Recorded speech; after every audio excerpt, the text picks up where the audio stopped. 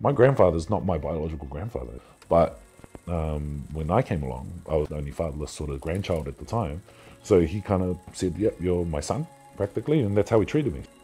He taught me everything from what your father's supposed to do, you know. So what your father's supposed to do and what your father's supposed to teach you.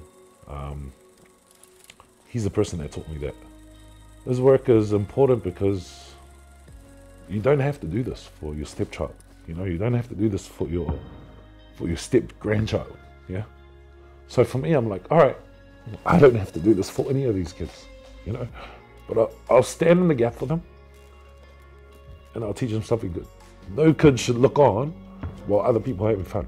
My name is Peter Josephs. I am a 40 year old father of two from Auckland City, and I um, I facilitate basketball and I work in the community.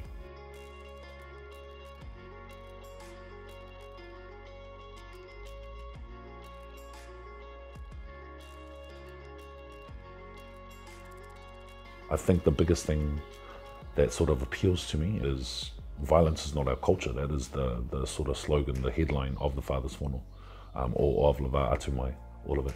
So um, for me, the Father's Whānau is, uh, is a platform where I can where I can share just views, um, and hopefully some of my views um, can can resonate with some some of us and, and push help fathers who might be having a problem.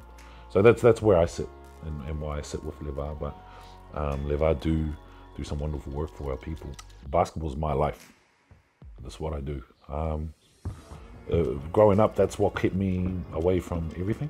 I, I, grew up in South Auckland. I grew up in Otara. Um, so very, it's an impoverished area. For me, I got to see a lot of different parts of life that maybe a lot of kids don't get to see. But my my memories was of childhood was fun. Um, you kind of don't know any different, you know. So I grew up amongst a lot of trauma. I grew up a lot amongst a lot of um, um, violence and, and, things like that. Um, not specifically in my household. So I've tried to keep that away as me from from my child. I don't smack my children whatsoever. So I remember that was one of my first thoughts. I was like, I'm not gonna smack my kids. And I think that's um, it's come through, and my kids are really confident. Basketball is a great thing for anybody to learn.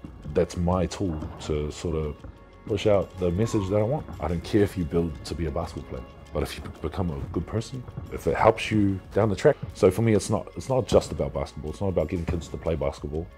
It's about giving them something they want to do that can help them, um, that they might not be getting from other places.